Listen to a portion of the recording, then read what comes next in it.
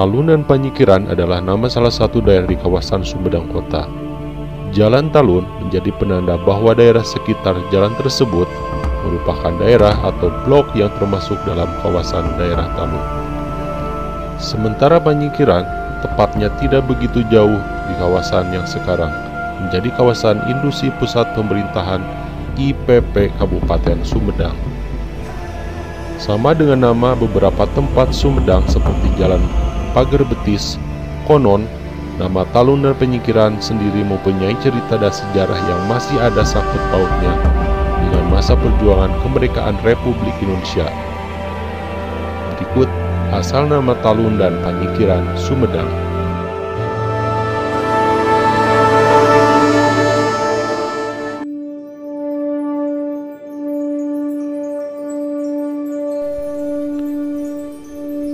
Asal mula nama talunan penyingkiran ketika zaman peperangan dahulu, di Sumedang terdapat salah satu batalion pasukan yang bernama Batalion 11 April.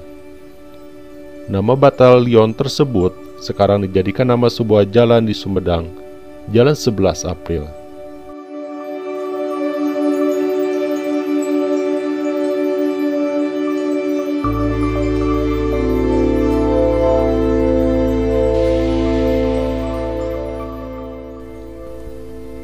Ketika itu, karena satu dan lain hal seperti kehabisan amunisi senjata, tentara yang bergabung dalam batalion 11 April mencari tempat bersembunyi dari penjajah.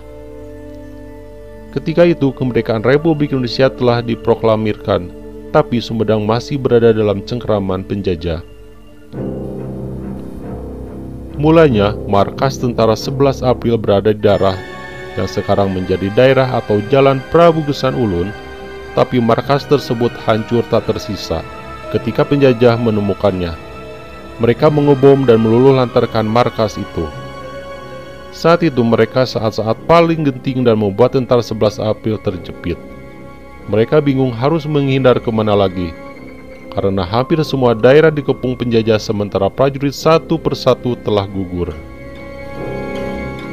Atas inisiatif Letnan Warsono saat itu, diusulkan agar pasukan di komando menyingkir ke sebuah daerah.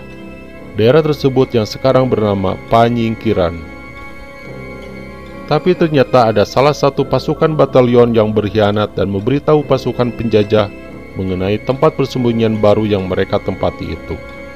Akibatnya, diceritakan tempat persembunyian tentara 11 April itu berhasil dilacak oleh penjajah. Penjajah kembali menyerang dan berusaha menghancurkan markas persembunyiannya sama seperti sebelumnya, karena mereka ingin sepenuhnya menguasai Sumedang.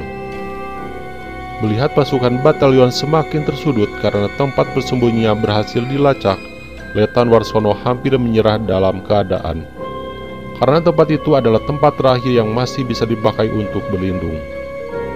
Tapi mereka masih berusaha mencari tempat lain, mereka kembali pindah.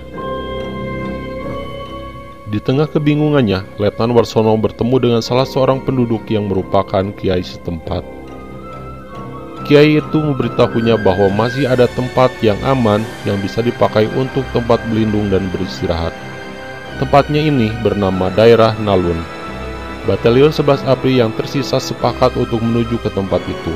Dan benar saja, di tempat itu mereka berlindung. Nalun sendiri artinya adalah berkumpul, Nama Nalun tersebut sedari dulu diubah pengucapannya oleh warga pribumi menjadi Talun, yang berarti tempat berkumpul, yaitu tempat berkumpulnya bala tentara 11 April.